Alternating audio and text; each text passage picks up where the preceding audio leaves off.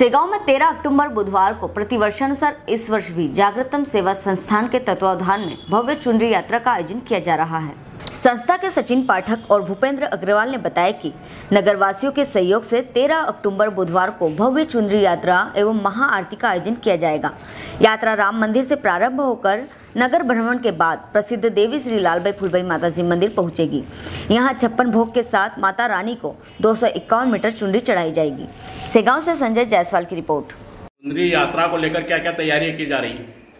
चुंदरी यात्रा को लेकर जागृतम सेवा संस्था के माध्यम से हम समाज में जाकर पीले चावल देकर भक्तजनों को आमंत्रित करने की तैयारी चल रही है। साथ ही अभी दो बत्ती का दीपक बनकर तैयार हो गया है।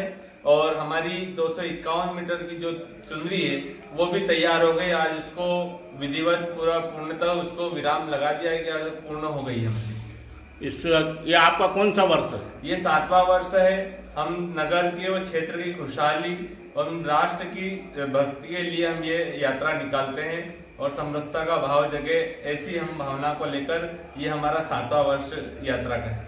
क्या नाम लिखते हैं सचिन पाठक जागृतम सेवा संस्थान। परिवार से हूँ।